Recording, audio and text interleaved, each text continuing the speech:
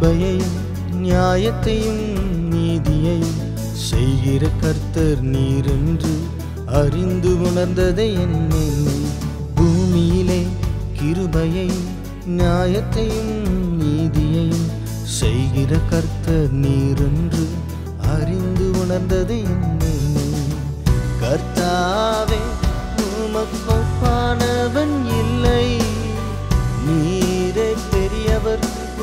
நாமமே வல்லமையில் பெரியது. கர்த்தாவே உமக்கொப்பானவன் இல்லை. நீரே பெரியவர் உம் நாமமே வல்லமையில் பெரியது. நீரே பெரியவர் உம் நாமமே வல்லமையில் பெரியது. நீரே பெரியவர் உம் நாமமே வல்லமையில்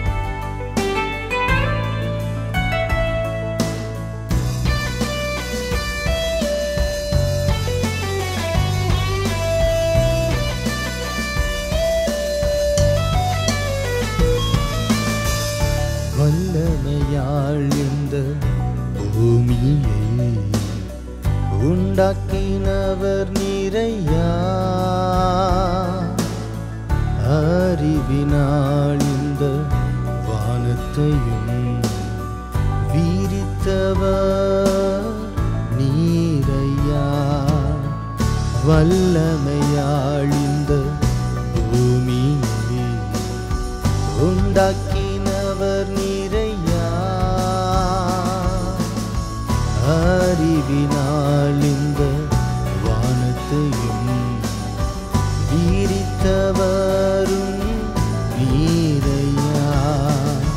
கர்த்தாவே உமக்கொப்பானவன் இல்லை. நீரே பெரியவர் உம் நாமமே வல்லமையில் பெரியது. கர்த்தாவே உமக்கொப்பானவன் இல்லை.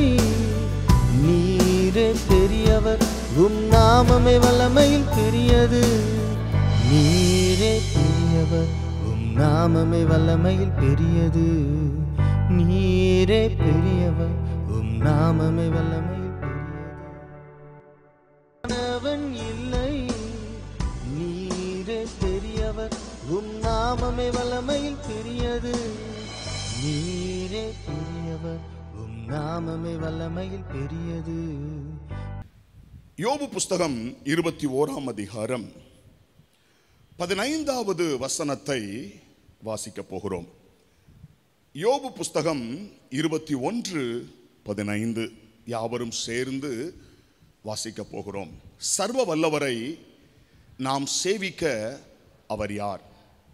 அவரை நோக்கி ஜெபம் பண்ணுவதினால் நமக்கு பிரயோஜனம் என்ன என்கிறார்கள். திரும்ப எல்லாரும் சேர்ந்து வாசிக்கலாம். சர்வ வல்லவரை நாம் சேவிக்க அவர் யார்? அவரை நோக்கி ஜெபம் பண்ணுவதனால் நமக்கு பிரயோஜனம் என்ன என்கிறார்கள். யோபு கேட்கிறான் சர்வ வல்லவரை நான் சேவிக்கிறதுக்கு அவர் யாரு? தேவன் தேவன் என்று சொல்லுகிறீர்களே கர்த்தர் கர்த்தர் என்று சொல்லுகிறீர்களே. அவரை சேவிப்பதற்கு அவர் யாரு? அடுத்தது அவரை நோக்கி ஜெபம் பண்ணுவதனால் நமக்கு எப்ப பார்த்தாலும் ஜெபம் ஜெபம்னு சொல்லி ஜெபிக்கிறீங்களே. உபவாச ஜெபம் சொல்றீங்க. தனி ஜெபம் சொல்றீங்க. இருபத்தி நாலு மணி நேரம் ஜெபம் சொல்றீங்க. இப்போ பார்த்தாலும் ஜெபம் ஜெபம் ஜெபம்னு சொல்லி ஓடுறீங்களே. அப்படி ஜெபிக்கிறதுனால உங்களுக்கு என்ன பிரயோஜனம்? இன்றைக்கு ஜனங்களுடைய கேள்வி அதுதான். இன்றைக்கு அநேக ஜனங்களுடைய உள்ளத்தில் எழும்புகிற கேள்வி அங்கே யோபு சொல்லுகிறார். அவரை சேவிக்க அவர் யார்? ஒரு பெரிய தேவன் என்று சொல்லுகிறீர்களே. அவர்தான் சூரியன் சந்திர நட்சத்திரங்களை படைத்தார் என்று சொல்லுகிறீர்களே. அந்த தேவனை சேவிக்க அவர் யார்? அவரிடத்தில் ஜபிக்கிறதுனால் என்னையா பிரயோஜனம்? நடக்கிறது நடந்துகிட்டு தானே இருக்குது. ஜெபம் பண்றதுனால என்ன மாறிட போகுது? ஜெபிக்கிறதுனால என்ன நடந்துட போகுது? அதெல்லாம் வேஸ்ட்டுங்க நிறைய பேர் சொல்றாங்க. இதை யோபு சொல்றார்.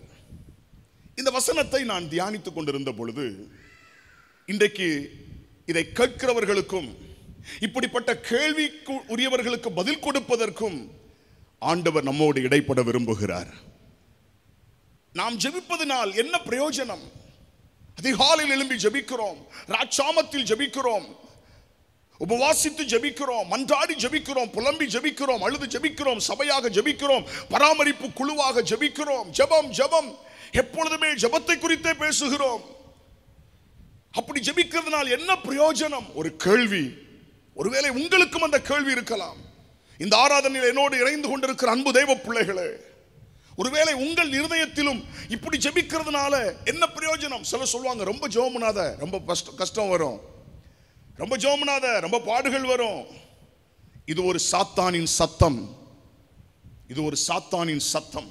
ரொம்ப ஜெபிக்காத ரொம்ப பைபிள் வாசிக்காத ரொம்ப ஆண்டவரை தேடாத. கொஞ்சம் அப்படி இப்படிமா இருந்துக்க. பட்டும் படாம இருந்துக்க. இது ஒரு சாத்தானின் சத்தம் தந்திர சத்தம் அது. ஜெபிக்கிறதுனால் என்ன பிரயோஜனம்? வேதத்திலே மூன்று காரியங்களை நான் பகிர்ந்து கொள்ள விரும்புகிறேன். ஜெபிக்கிறவர்களுக்கு ஜெபிக்கிறவர்களுக்கு இருக்கிற ஆசீர்வாதம் ஜெபிக்கிறவர்களுக்கு இருக்கிற நன்மை ஜெபி ஜெபித்ததினால் ஜெபிக்கிறதுனால் இருக்கிற ஆசீர்வாதங்கள். சும்மா இல்லை. டைம் பாஸ் பண்ணலை நம்ம ஜெபத்தில்.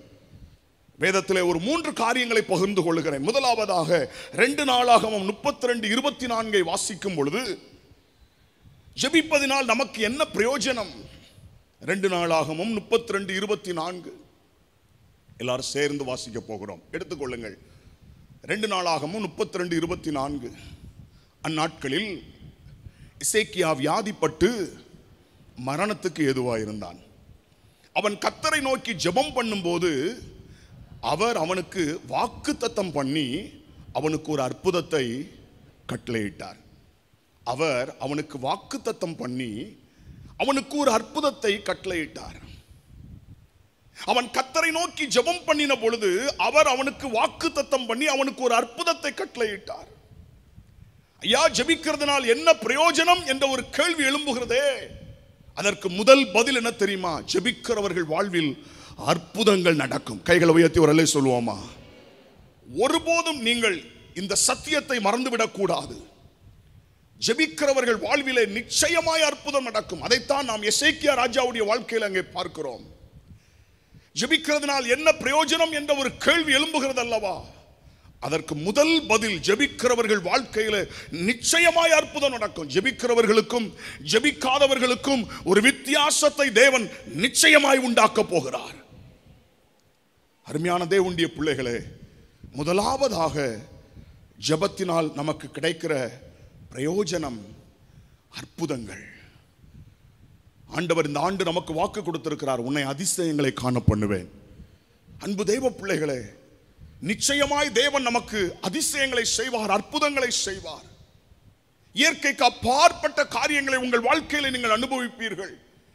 இசைக்கியா ராஜாவுக்கு பதினைந்து ஆண்டுகளை கூட்டி கொடுத்து மரண வியாதியை மாற்றி ஒரு பெரிய அற்புதத்தை ஆண்டவர் செய்தார். ஒருவேளை இந்த சத்தத்தை கேட்டுக்கொண்டிருக்கிற உங்கள் வாழ்க்கையில் இதுவரைக்கும் ஒரு அற்புதத்தை கூட நீங்கள் பார்க்காமல் இருந்திருப்பீர்களானால் நான் விசுவாசிக்கிறேன் ஜெபிக்கிற உங்கள் வாழ்க்கையில் நிச்சயமாய் அற்புதங்களை கத்தர் செய்வார்.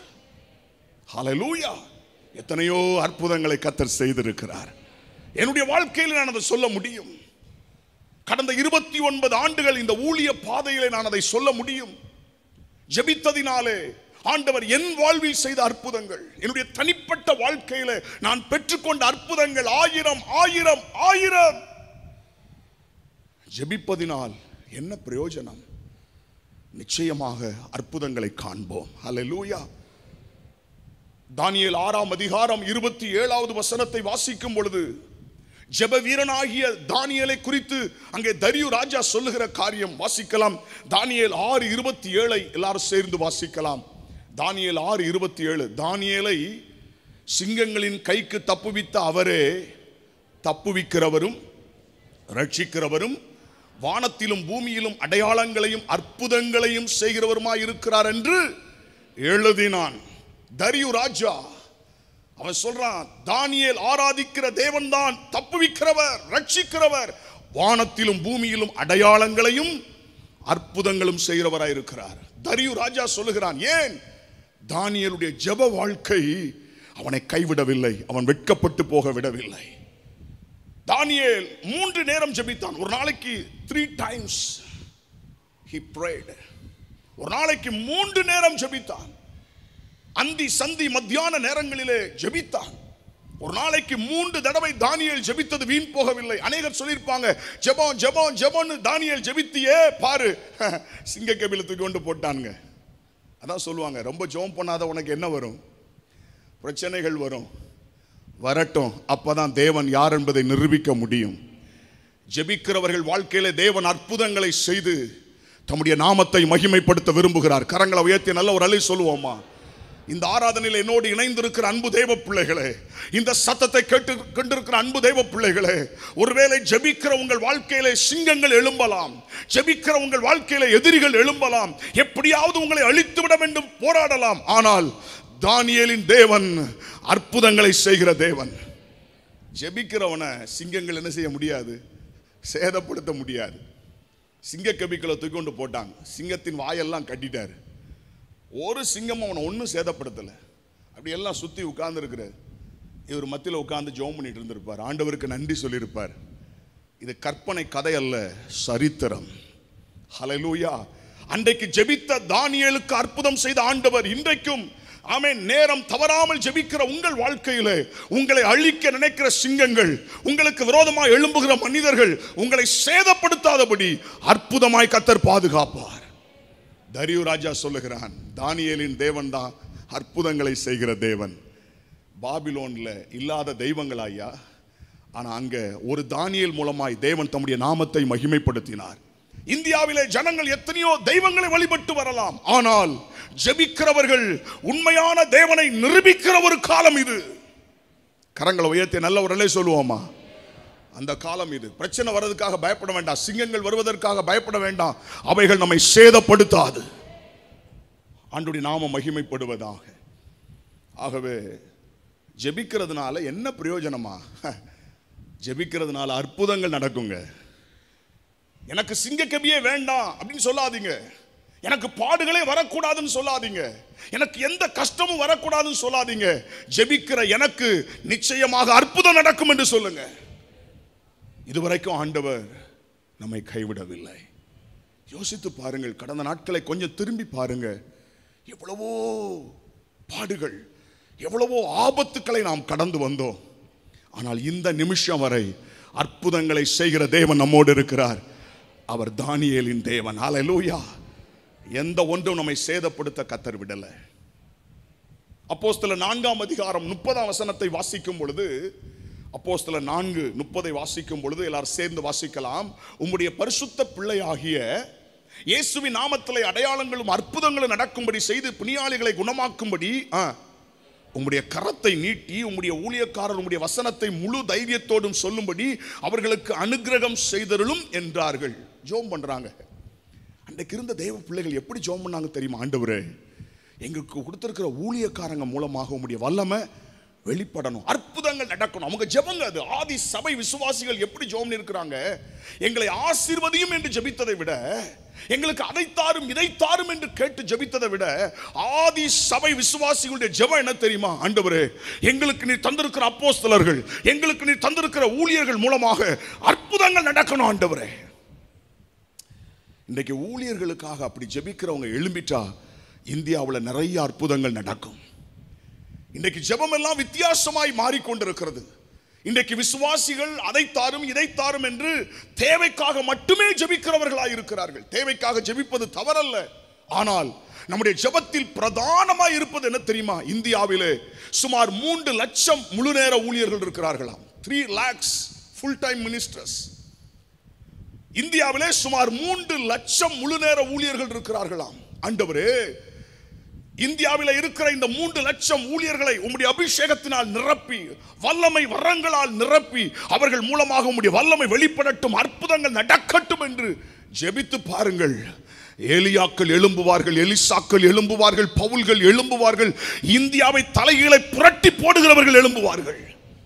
ஹலலூயா ஆதி சபை அப்படி ஜெபம் பண்ணாங்க. ஜோம் பண்ணதுனால என்ன நடந்தது தெரியுமா? அதே அப்போஸ்தலர் ரெண்டு நாற்பத்தி மூன்றை வாசிக்கும் பொழுது அப்போஸ்தலர் ரெண்டு நாற்பத்தி மூணில் என்ன நடந்தது? ஆமேன். எல்லாருக்கும் பயம் உண்டாயிற்று. அப்போஸ்தலர்களாலே அநேக அற்புதங்களும் அடையாளங்களும் செய்யப்பட்டது. கரங்களை உயர்த்தி நல்ல ஒரு அலை சொல்லுங்களேன். எல்லாருக்கும் பயம் உண்டாயிற்று. அப்போஸ்தலர்களாலே அநேக அற்புதங்களும் அடையாளங்களும் செய்யப்பட்டது. அப்போ விசுவாசிகள் ஆண்டவரே எங்கள் ஊழியர்களை எங்கள் அப்போஸ்தலர்களை எடுத்து நீர் பயன்படுத்தும். அவர்கள் மூலமாய் அற்புதங்கள் நடக்கட்டும் என்று ஜெபித்த பொழுது தேவன் அப்போஸ்தலுடைய கரங்களினாலே அற்புதங்கள் அதிசயங்களை செய்ய வைத்தார். அலலூயா அப்போ ஜெபிக்கிறதுனால என்ன பிரயோஜனமா? என்ன கேள்வி கேட்டாங்க இன்னைக்கு ஜனங்கள்? சத்தியம் தெரியாமல் பேசிட்டாங்க. இன்னைக்கு ரட்சிக்கப்பட்டவர்கள் கூட சில குடும்பத்தில் பார்க்குறோம் என்னத்தை போட்டு ஜெபம் ஜெபம் ஜெபம் பண்ணிட்டு இருக்கிற இன்னைக்கு கிறிஸ்தவ குடும்பத்தில் கூட ஜெபத்தின் முக்கியத்துவம் தெரியவில்லை. ஆவிக்குரிய குடும்பத்தில் கூட இன்னைக்கு ஜெபம் சரியா இல்லைங்க. அதெல்லாம் என்ன நடக்கிறது? தானா நடக்கட்டும். அதெல்லாம் தலையெழுத்து விதிப்படி நடக்கும். ஜெபம் அற்புதங்களை கொண்டு வரும். ஜெபிக்கிறதுனால் என்ன பிரயோஜனம் என்ற ஒரு கேள்வி உங்களுக்குள்ள இருக்குமானால் கத்தருடைய ஆவியானவர் பேசுகிறார் ஜெபிக்கிற உங்கள் வாழ்க்கையிலே நீங்கள் அற்புதங்களை காண்பீர்கள். ஹலலூயா இரண்டாவதாக மத்திய இருபத்தி ஆறு நாற்பத்தி ஒன்று. ஜெபிக்கிறதினால் என்ன பிரயோஜனம்? வாசிக்கலாம்.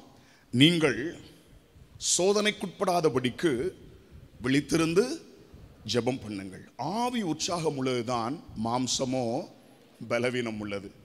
நீங்கள் சோதனைக்குட்படாதபடிக்கு விழித்திருந்து ஜெபம் பண்ணுங்கள். ரெண்டாவது ஜெபிக்கிறதுல என்ன பிரயோஜனம்? ஏன் ஜெபம் பண்ணுறதுல அப்படி என்னையா பிரயோஜனம்? சோதனையை ஜெயிக்கலாம். ஒரு ஆமைன்னு சொல்லுங்களேன்.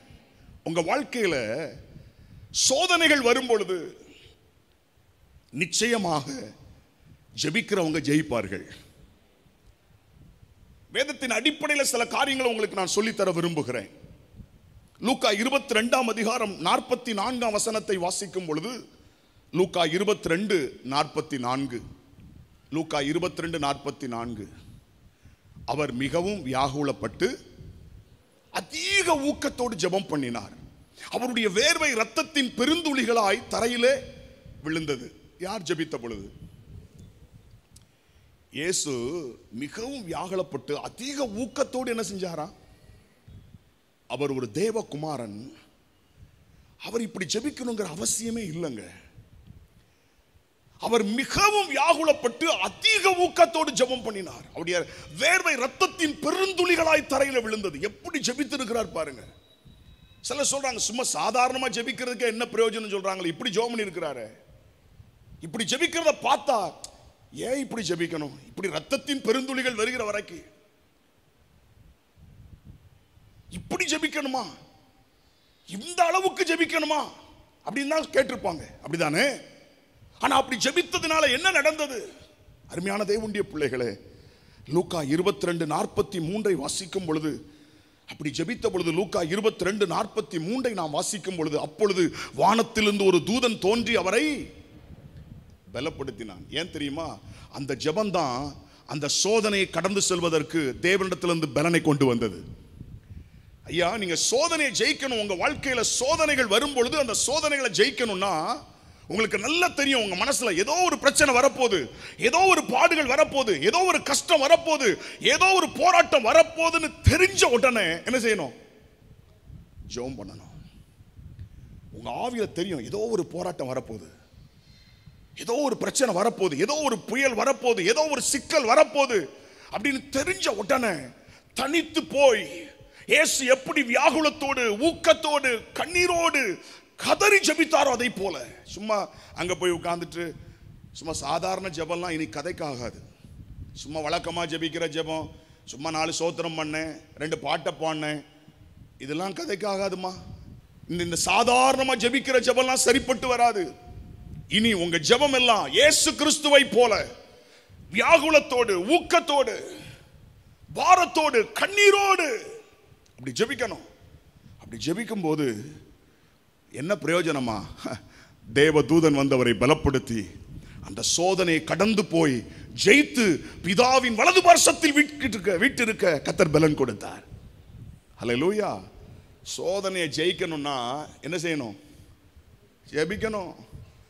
இல்லாட்டா அதே சோதனையில் உங்களை அழிச்சிரும் அது. உங்களை போட்டு உருட்டி எடுத்துரும் அது. எல்லா தேவனுடைய பிள்ளைகள் வாழ்க்கையிலும் சோதனை உண்டு. லூக்கா எட்டு பதிமூனை வாசிக்கும் போது நீங்கள் புரிந்து கொள்ளலாம். லூக்கா எட்டாம் அதிகாரம் பதிமூன்றாம் வசனத்தை வாசிக்கும் பொழுது ஒரு சத்தியம் அங்கே இருக்குது. எல்லாரும் சேர்ந்து வாசிக்கலாம். லூக்கா எட்டு பதிமூன்று. கற்பாறையின் மேல் விதைக்கப்பட்டவர்கள் கேட்கும் பொழுது சந்தோஷத்துடனே வசனத்தை ஏற்றுக்கொள்ளுகிறார்கள். ஆ. ஆயினும் தங்களுக்குள்ளே வேர் கொள்ளாதபடியினாலே கொஞ்ச காலம் மாத்திரம் விசுவாசித்து என்ன காலம்? சோதனை காலத்தில் எல்லாருடைய வாழ்க்கையிலும் என்ன காலம் உண்டு? சோதனை காலம்னு ஒன்று உண்டு. இதை நீங்கள் எப்போதுமே உங்கள் மனசில் வச்சுக்கிடுங்க. ஒரு சோதனை காலம் என்று உங்கள் வாழ்க்கையில எப்போதுமே உண்டு. எல்லாருடைய வாழ்க்கையிலையுமே ஒரு சோதனை காலம் என்று உண்டு. யோபுவுக்கு ஒரு குறிப்பிட்ட நாட்கள் ஆண்டவர் அதை அனுமதித்தார். எல்லா தேவனுடைய பிள்ளைகள் வாழ்க்கையிலையும் அது யாராக இருந்தாலும் சரி விசுவாசிகளாக இருந்தாலும் சரி தான் ஊழியக்காரங்களாக இருந்தாலும் சரிதான். எல்லாருடைய வாழ்க்கையிலையும் ஒரு சோதனை காலம் என்று ஒரு காலம் உண்டு. அந்த காலத்தில் தப்பணும்னா என்ன செய்யணும்? ஜெபம் பண்ணாதான் தப்ப முடியும். இல்லாட்டா சோதனை காலத்தில் பின்வாங்கி போயிடுவாங்க. நிறைய பேர் சோதனை காலத்தில் விழுந்துருவாங்க. அந்த சோதனையில் அவங்களால நிற்க முடியாது. சோதனையில் நிற்க முடியாது. சோதனையில் ஜெயிக்கணும்னா ஜெபிக்கணும். லூக்கா நான்காம் அதிகாரம் பதிமூன்றாம் வசனத்தை வாசிக்கும் பொழுது லூக்கா நான்கு பதிமூன்றை வாசிக்கும் பொழுது அங்கே ஒரு காரியம் சொல்லப்பட்டிருக்கிறது. பிசாசானவன் சோதனையெல்லாம் முடிந்த பின்பு சில காலம் அவரை விட்டு அவருக்கே அவருக்கு ஒரு ஒரு சோதனை காலம் இருந்தது ஒரு டெஸ்ட் வைக்கப்பட்டுச்சு. அவர் ஜெபித்ததுனால ஜெயித்தார். அவர் நாற்பது நாட்கள் ஃபாஸ்டிங்கில் இருக்கிறார். நாற்பது நாட்கள் உபவாசித்து முடிக்கிறாரு. யார் வந்துட்டா? சொல்லுங்க. சாத்தான் வந்துட்டான். நாற்பது நாட்கள் ஜெபித்து முடிக்கிறாரு பிசாசு வந்துட்டான். எப்போதுமே ஜெபிக்கும் போது இருக்கிற ஆபத்தை விட ஜெபித்து முடித்த பிறகு இருக்கிற ஆபத்து அதிகம். நம்முடைய வாழ்க்கையில் ஒரு வெற்றியை நாம் பெறும் பொழுது ரொம்ப கவனமாக இருக்கணும். நம்முடைய வாழ்க்கையில் ஒரு வெற்றியை சோந்தரிக்கும் பொழுது அதற்கு பிறகு ஒரு பெரிய ஆபத்து இருக்கும். எப்போதுமே கவனமாக இருக்கணும். ஜாக்கிரதையாக இருக்கணும். நாற்பது நாட்கள் ஜெபித்து அப்படி முடிக்கிறாரு. பிசாசு வந்துட்டான். சோதனைக்காரன். பல சோதனைகள் வைக்கப்பட்டது. அத்தனை சோதனையிலும் இயேசு என்ன செய்தார்? ஜெயித்தார். சோதனை காலத்தில் ஜெயிக்கணும்னா அதற்கு முன்பாக என்ன செஞ்சிருக்கணும்? ஜெபித்திருக்கணும். அதனால தான் சிலருடைய வாழ்க்கையில் ஜெபம் இல்லை. எப்போ ஜெபம் பண்ணுவாங்க தெரியுமா? ஆ. பிசாசு போட்டு உருட்டி புரட்டி எடுப்பான் பார்த்தீங்களா துவைச்சி தொங்க விடுவான் பார்த்தீங்களா அப்போதான் ஆண்டவரை நோக்கி கதருவான் ஆண்டவரே ஆண்டவரே என்னை காப்பாற்றும் ஆண்டவரே என்னை விடுவியும். ஆண்டவரே என்னை மன்னியும். ஆண்டு சொல்லுவார் இதற்கு முன்பாக என்ன செஞ்சிருக்கணும் நீ? ஜெபித்திருக்கணும். வழக்கமாக உங்கள் ஜெபங்களை நீங்கள் எப்பொழுதுமே வைத்திருக்கணும் உங்கள் வாழ்க்கையில். பிரச்சனை வரும்போது மட்டும் ஜெபிப்பவர்கள் தோற்று போவார்கள். சிலருடைய வாழ்க்கையில பாருங்களேன் ஜெபமே இருக்காது. ஆனா ஒரு கஷ்டம் வந்துச்சுன்னா ஒரு பாடுகள் வந்துச்சுன்னா ஒரே ஜெபமா இருக்கும். ஜெபம் ஜெபம் ஜெபம். அதெல்லாம் பெரிய அளவில் வெற்றியை கொடுக்கும் நான் சொல்ல மாட்டேன். ஏன்னா சில நேரத்தில் சோதனையில் நிற்க முடியாதபடி தோற்று போகக்கூடிய வாய்ப்பு என்ன செய்யுது இருக்குது. அப்போ ஏற்கனவே இயேசு நாற்பது நாட்கள் ஜபித்ததினாலே ஈஸியாக அவனை ஜெயிச்சிட்டார். கரங்களை உயர்த்தி ஒரு அழகு சொல்லுங்களேன். உங்க வாழ்க்கையில உபவாச ஜெபம் இருக்குதா? வாரத்தில் ஒரு நேரமாவது உபவாசிக்கிறீங்களா? தனித்து ஜெபிக்கிறீங்களா? நேரம் எடுத்து ஜெப நேரங்களை வைத்திருக்கிறீங்களா? ஏசு சொல்றாரு சீஷர்கள்ட்ட முக்கியமா பேதர்கிட்ட கொஞ்ச நேரம் என்ன செய் ஜோம் பண்ணு. நான் போயிட்டு ஜோம் பண்ணிட்டு வரேன். போயிட்டு அவர் ஜோம் பண்ணிட்டு வந்தா இவன் தூங்கிட்டு இருக்கான். திரும்ப தட்டி எழுப்புறாரு. எழுப்பி எப்பா ஜோமுனுங்கப்பா. சோதனைக்கு சோதனைக்குட்படாதபடிக்கு என்ன செய்யுங்க? ஜோமுனுங்க ஒரு ஆபத்து வரப்போகுதுப்பா நீங்க தாக்கு பிடிக்கணும். பெரிய பிரச்சனைக்குள்ள போக போகிறோம் ஜோமுனுப்பா அப்படின்னு சொன்னா போயிட்டு திரும்ப வராரு என்ன செஞ்சிட்டு இருக்கான் தூங்கிட்டு இருக்கிறான் மூன்றாவது தடவை இயேசு போய் ஜோம்னிட்டு வந்து என்ன தெரியுமா சொன்னாரு? போதும் வாங்க என்ன செய்வோம்? போவோம். வந்துடுச்சு எப்பா பிரச்சனை. இயேசுவை கைது பண்றாங்க. அத்தனை பேர் செதறி ஓடுறான். செத்தாலும் சாவேன்னு சொன்னவன். அங்க என்ன செய்ய முடியல அவனால? நிற்க முடியல. மறிக்க வேண்டியதா இருந்தாலும் உம்மோடு நான் மறிப்பேன் என்று சொன்னான் பாருங்க. ஆனா நிற்க முடியல. நிற்க முடியல. மறுதளிக்கிறான் ஒருத்தன் வஸ்திரத்தை விட்டுட்டு நிர்வாணமா ஓடுறான். பதினோரு பேரும் சிதறடிக்கப்படுறாங்க. காரணம் என்னன்னா ஏசு சொன்ன போது அவங்க என்ன செய்யல? ஜெபிக்கல. அதிகாலையில் எழும்பி ஆண்டவரை தேடுங்கன்னு சொல்றோம். அதிகாலை ஆராதனைக்கு முக்கியத்துவம் கொடுங்கன்னு சொல்றோம். ஆலயத்தில் வந்து ஜெபிங்கன்னு சொல்றோம். இருபத்தி நாலு மணி நேரம் ஜெபாரருக்கு வந்து ஜெபம் பண்ணுங்கன்னு சொல்றோம். வீட்டில் குடும்ப ஜெபம் பண்ணுங்கன்னு சொல்றோம். ஜெபத்துக்கு முக்கியத்துவம் கொடுங்கன்னு சொல்றோம். எதற்குமே கண்டுகிடுறது இல்லை பிற- பிரச்சனை வந்து தலை மேலே ஏறி நின்று போட்டு மிதிக்கும் போதுதான் ஆமேன் சோர்ந்து போய் சோதனையில் விழுந்து போய் சிலர் மாண்டு போகிறதை பார்க்கிறோம். இந்த சத்தத்தை கேட்கிற அன்பு தெய்வ பிள்ளைகளே நீங்கள் சோதனை காலத்தில் ஜெயிக்க வேண்டுமானால் நீங்கள் ஜெபிக்கிறவர்களாக இருக்கணும் அப்போ ஜெபிக்கிறவர்களுக்கு என்ன பிரயோஜனம் தெரியுமா? நீங்க ஜோம்னிட்டே இருங்க. சோதனை ஜெயிப்பீர்கள். லிஃப்ட் அப் ஜீசஸ் ஒரு சிறப்பு கிறிஸ்தவ யூடியூப் சேனல். வாலிபர்கள் குழந்தைகள் பெரியவர்கள் என அனைத்து வயதினரும் பார்க்கக்கூடிய ஒரு சிறப்பு கிறிஸ்தவ யூடியூப் சேனல். தேவனை ஆராதிக்கக்கூடிய பாடல்கள். உற்சாகமூட்டும் நடனங்கள் சிந்திக்க தூண்டும் குறும்படங்கள். இன்னும் வித்தியாசமான பல நிகழ்ச்சிகள் உங்களுக்காக இந்த சேனலில் காத்திருக்கிறது. லிஃப்ட் ஆப் ஜீசஸ் யூடியூப் சேனலை சப்ஸ்கிரைப் செய்திடுங்க லைக் பண்ணுங்க கமெண்ட் பண்ணுங்க மற்றும் இதை உங்கள் நண்பர்களுக்கு ஷேர் பண்ணுங்க. லிஃப்ட் ஆப் ஜீசஸ் ஒரு சிறப்பு கிறிஸ்தவ யூடியூப் சேனல்.